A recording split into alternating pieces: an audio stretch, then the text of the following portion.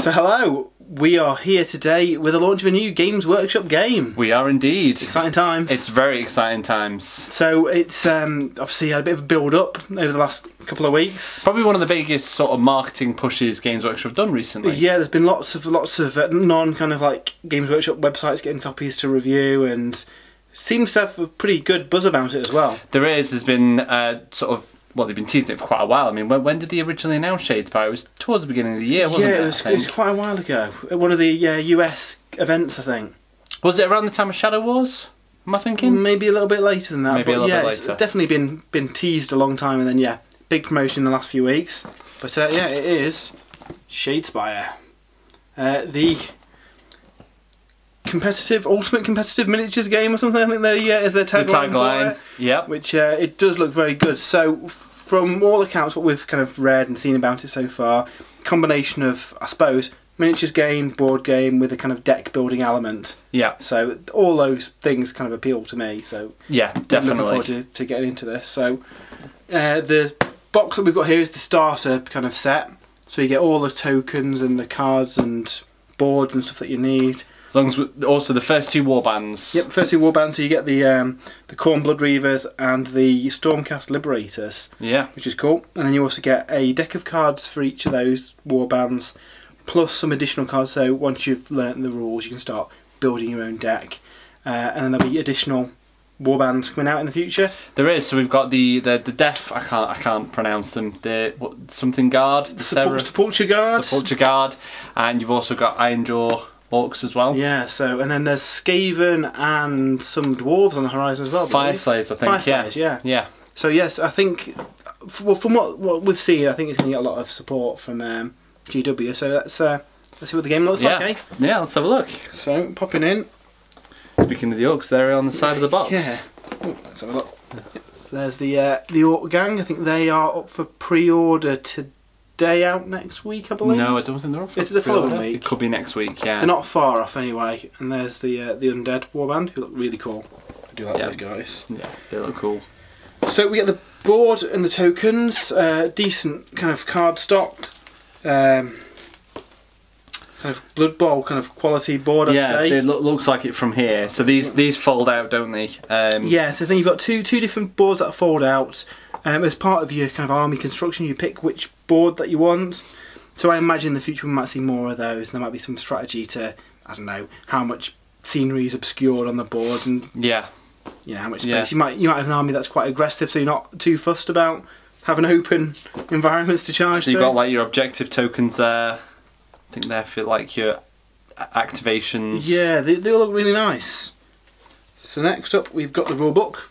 Apologies, I'll try and get into this thing. Yeah, they're very tightly shrink wrapped.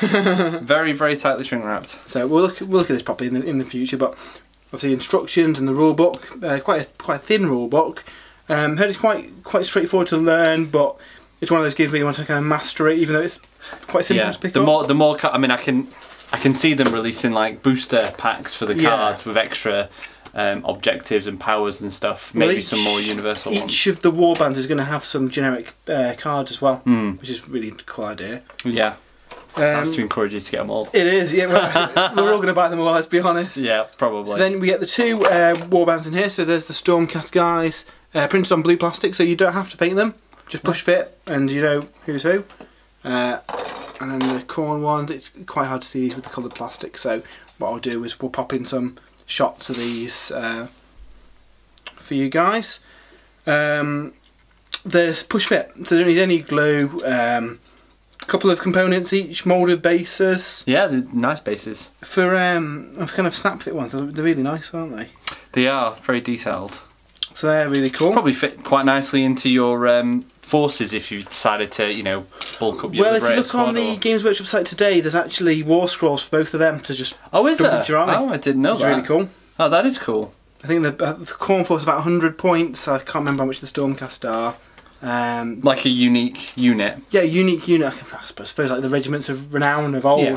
So it'd be Yeah. cool to see that for all the factions. Yeah, that would be very cool. Uh, so we get some custom dice. So um, successes are based on what type of weapon you've got. So there's different facings, and obviously that determines how many res- uh, results you get on them. And then we get some decks. So a deck for the Blood Reavers and a deck for the Liberators.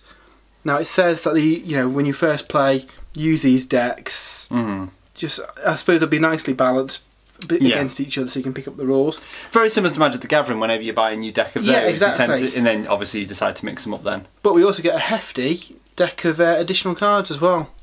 So once you've got a few games under your belt, you can then, once you've learned the rules and the kind of tricks and tactics Yeah. for each unit, you can start making your own thing. So th- I believe there should be enough cards then to make a, a custom deck for each faction. yeah, Um, you also get, which is really really handy, a big pile of uh, baggies to put all your tokens and stuff in, which is always gets thumbs up when board games. come Oh with yeah, bags to put them yeah, in. definitely. And then the last thing in the box, I think, is going to be An No, advert. Just an advert for Age of Sigmar. Cool. I thought we were going to see some of the, the other warbands in there, but maybe not. No, maybe in not. Maybe not. So just grab off the floor because it's fallen down. There's a couple more releases for Shadespire today. Uh, they've released some custom sleeves.